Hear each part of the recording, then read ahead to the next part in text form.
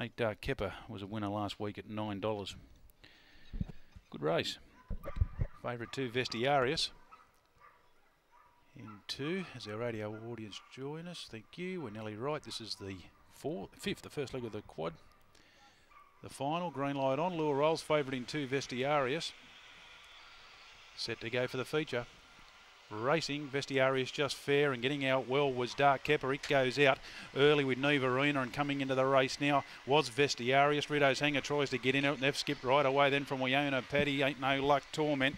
And out the back, Nasroad Kylie. Headswood turned home. Vestiarius broke clear. He had a winning break. He'll win the final. Vestiarius first beat Dark Kepper. Third in the event will go to Rido's Hanger and then close up behind those Wyona Paddy. Ain't no luck as they go into the catching.